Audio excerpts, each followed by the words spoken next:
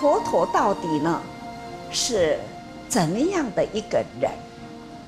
他就是无私大爱，无私大爱，无自己的私我的，他爱的是普天之下，所以我称佛陀是以作大觉者。只是人间的觉者，他的觉悟是包含了宇宙。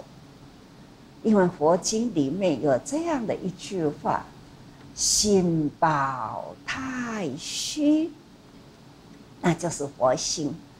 唯有佛陀呢，他的心量开阔，宇宙之间太虚嘛。宇宙之间嘛，无事不懂，那无理不彻，所以啊，所有的道理吼，拢真透彻啊，无一项代志伊唔办。总而言之呢，这就是佛性啊，佛陀的智慧，不是要我们在那里念经呐，他讲的道理呢。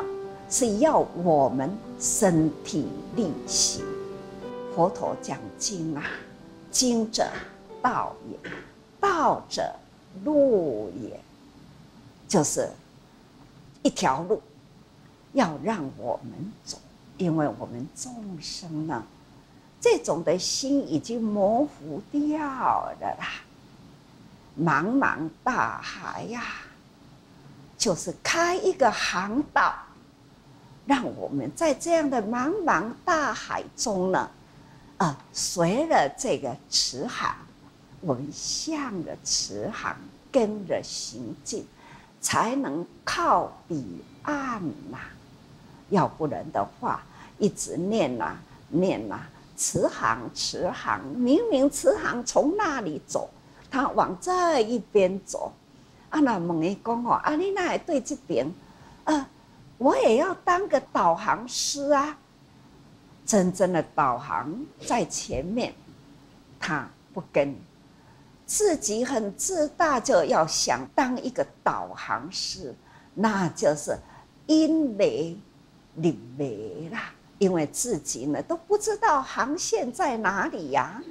他呢就是这样一念偏差，差之毫厘。事以千里。